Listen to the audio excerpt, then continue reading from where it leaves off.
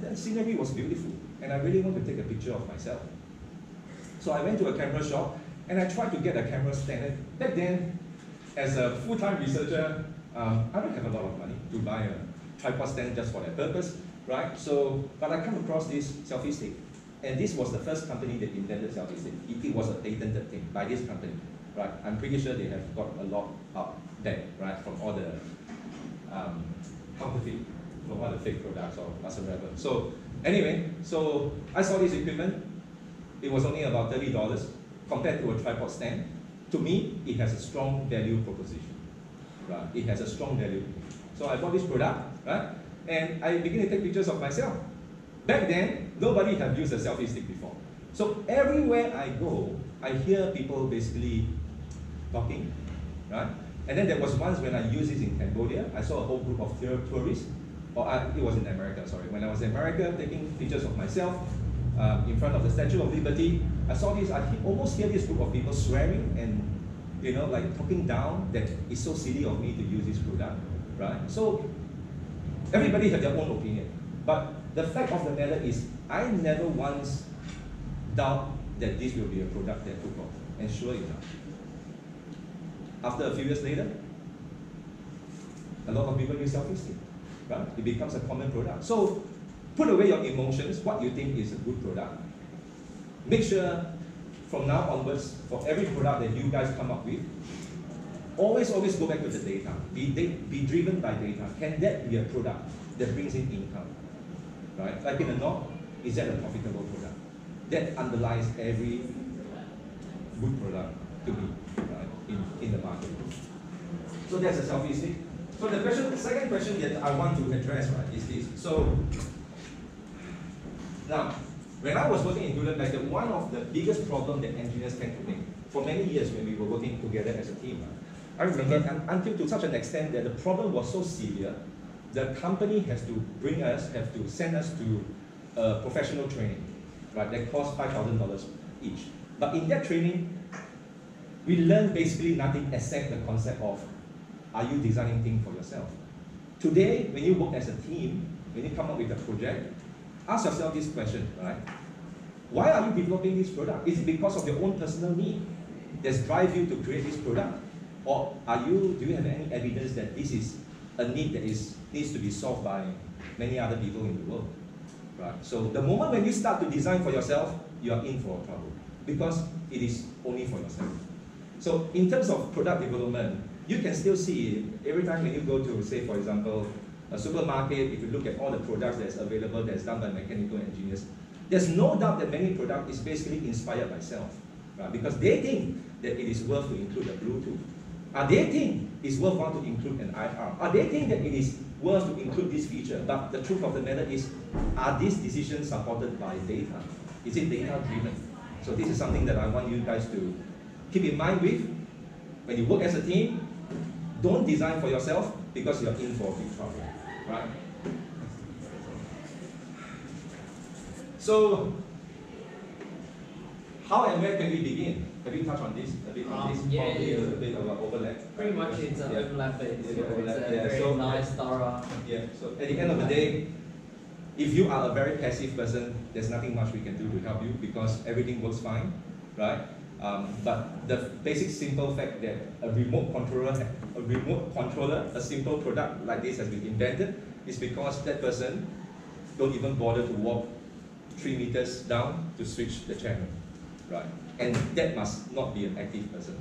right? So if you are a passive person and everything is fine, you can make do with everything. If you don't have a table, you can basically just take a cardboard and write on it. I mean, if you have this sort of a person, maybe you'll find very hard to come up with right? But the only way that will drive you in terms of to create innovation will be whether are you frustrated, frustrated enough about life, right? So you need to be frustrated enough, right? So So I wasn't wrong by saying um, Chaco and I are pretty critical and slightly pessimistic. yeah, we are very critical. Uh, Okay. Now, so these are some of the feedbacks that have been given.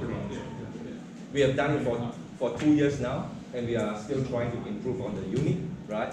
And before I touch on some of the negative comments, I think it's worth really just putting us right on the same platform, right? So um, thankfully, we received quite positive feedback, right? And I think Nick will show you some examples. I haven't talked about the MQIB. Uh, what about um, Samuel Clark's testimony? You have talked about it. So you must have heard about Samuel Clark, the student, and and to me, it just made complete sense. When he went for the interview, he managed to show the whole series of product development process to the employer. And I can tell you, as a manager, as a previous employer for a company, any students who presented me to that, the entire whole process in product development will never fail to impress me.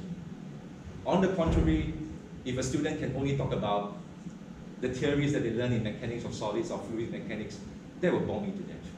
But Samuel Clark got the job, it's all because he's able to show and define very clearly what is the value proposition, why is there a market need for the product based on his research, how many people will need the product, what kind of profit it will bring in, what is his kind of a critical thinking, he's able to explain his critical thinking, he's able to explain his integrative thinking into the product, and to me, it makes complete sense why it has helped him to secure the job. And that is why we designed the course that way to help you guys to enhance your employability. And that is really the motivation behind. So thankfully, we have about 4.5 on average in terms of people who like the course. Obviously, there will be about 10% of the students who don't really understand it. Maybe they didn't attend the first lecture, that's why we choose to make the first yeah. lecture compulsory. And record it. And record it so that you can hear it. You can hear from us the rationale why we have why we have a course like this. Overall, it was pretty clear to all the students. There's always room for improvement, right? And like it or not, as teaching staff, we are always still learning, right? So we will learn together and try to make this course a better one, right? But I just feel that I should address um, all these comments in case you have them. So we will move away from this negative feedback because I have made it clear to you guys, right? The first thing is assignment date keep changing. We cannot change our assignment date over the whole product development process, right? One of you guys will basically um, came up with some products and then decide to change the product because it was not good enough, right? So instead of defining the product in week two, you ended up defining the product in week seven. We can't just not give you any marks for your, for your hard work. That's why we always move the assignment dates. We'll see what we can do this time around. We try not to be too fixed on it, but we do need a schedule because you have 13 weeks, you need to graduate right? So that recommended flowchart is our recommended approach. You're free to change it up, but obviously you have to go through in time, and sometimes those will just linger on. Right? You need to make that clear to us, and it will just be an ad hoc sort of adjustment. Yeah. So we will, we will, we will, still work closely together. If you need any help in delaying your assignment, let us know. We are a bit more, we try not to be flexible because it, it, we need to be fair to all students, but yet sometimes we just really want you guys to get ahead. So we will change that date. So don't be confused by assignment that keep changing, right? If you are a fantastic group and can progress very quickly and finish off the blueprint and the CAD drawing by end of week eight, so be it. We will welcome, right? So, and you are able to do so because all the previous year's recordings, lectures recordings are already uploaded. Oh, will be on iLearn. Yeah, will be on iLearn. So you have access to the lectures in the next few weeks, right? Now, feels like theirs is a bigger emphasis on creative innovation than the design process, but mind you, isn't creation, creativity, and innovative thinking part of the design process? If today, if you want to get any job, you cannot just tell your employers that you are familiar with the design process, right? As an employer, I would definitely want to find out how creative are you? How much money are you able to bring in to my company? That underlies every single thing. Right? Do you have the capability to bring in more money to my company? That underlies every single thing, right? So the value that you bring in, are you able to do that as an engineer or as a graduate engineer? It was very demoralizing to be laughed at and see others laughed at. Now, can I please encourage you, don't laugh at other people, even though sometimes it can be quite funny, right? It can be quite, and even I sometimes I will chuckle, and but please don't take offense. Right? At this stage, you need to be, you need to come to terms with the fact that when people laugh at you, it doesn't mean anything at all. Right? You need to be more confident about your own product, back it up with evidence, evidence, evidence, be data driven, and don't be afraid to be laughed at. Just like the selfie stick. Right? It was being ridiculed like crazy.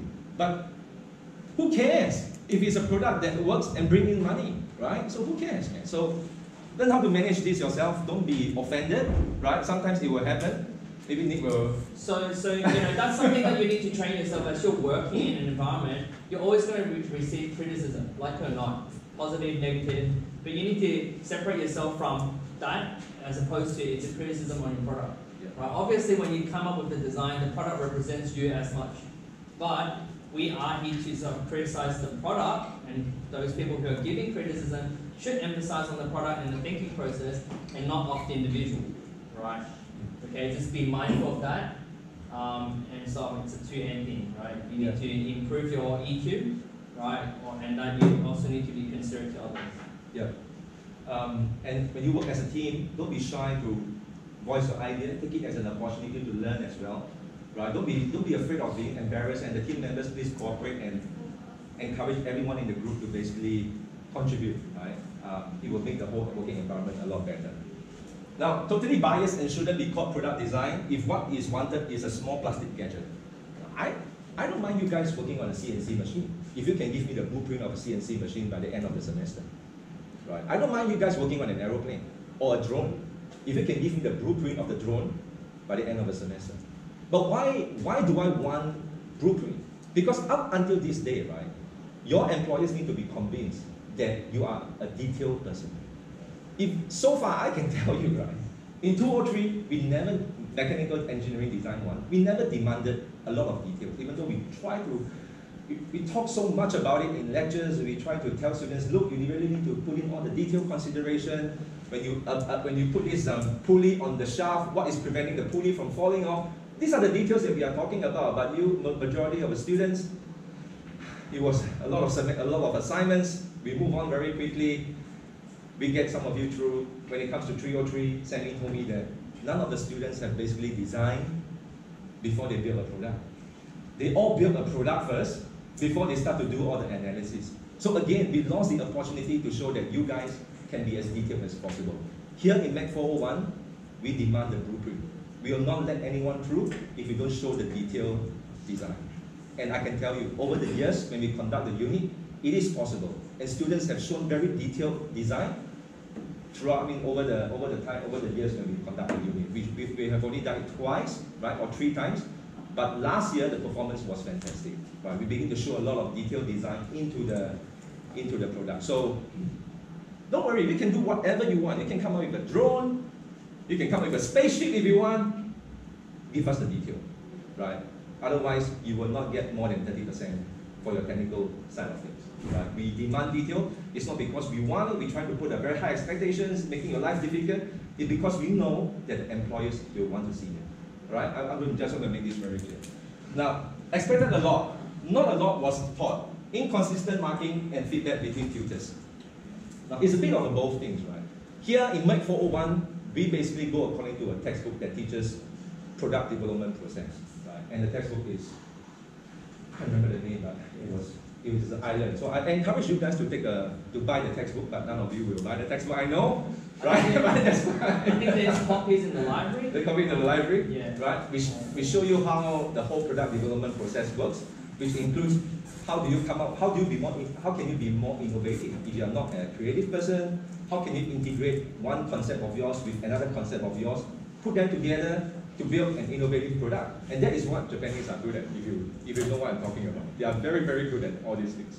So the textbook basically teach you how to do the soft skills in product design, and that is what your learning will be, including your quiz, right? There won't be any exams because it will just be based on the final report, but your quiz and all the theoretical knowledge, it will be based on the soft skill in terms of product design.